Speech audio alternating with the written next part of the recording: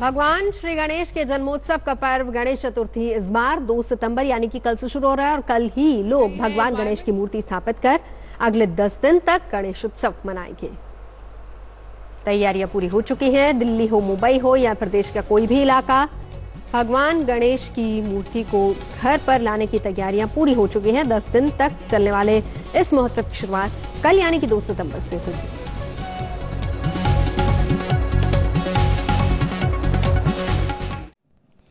Latest खबरों के लिए यू ही देखते रहिए आज तक। और इस वीडियो के पसंद आने पर लाइक शेयर एंड सब्सक्राइब करना ना भूलें।